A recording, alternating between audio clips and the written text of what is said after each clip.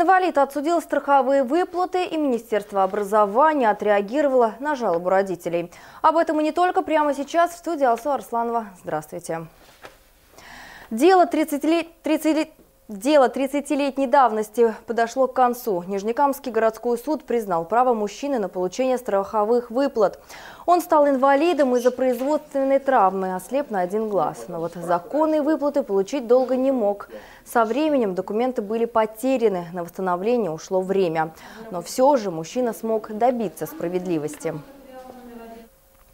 Министерство образования будет разбираться, почему в Нижнекамской 26-й школе не хватает учебников. Родители начали жаловаться, что дети вынуждены заниматься с одной книгой на двоих. Между тем, учителя не видят в ситуации ничего, ничего критичного.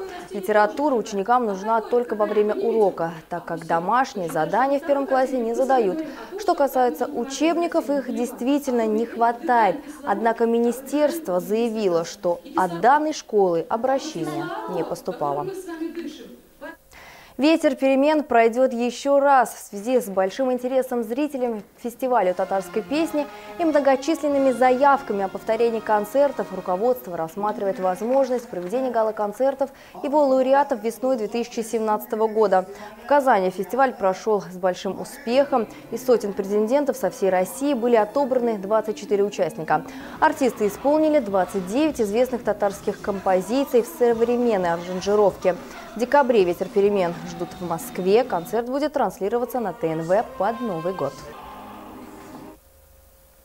Сегодня хоккейный нефтехимик проведет второй выездной матч. Подопечные тренерского штаба Андрея Назарова в Уфе скрытят клюшки с местным Салаватом Юлаевым.